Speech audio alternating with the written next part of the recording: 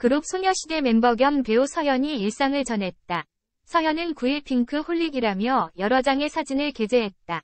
사진 속 모자, 크롭티, 가방까지 핑크로 깔맞춤한 채 청바지를 매치하고 외출에 나선 서현의 모습이 담겨 있다.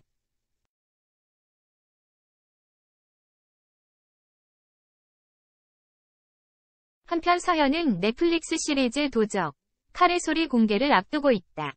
도적, 칼의 소리는 격동의 일제강점기에 각기 다른 사연으로 무법천지의 땅 간도로 향한 이들이 조선인의 터전을 지키고자 하나가 되어 버리는 액션 활극이다.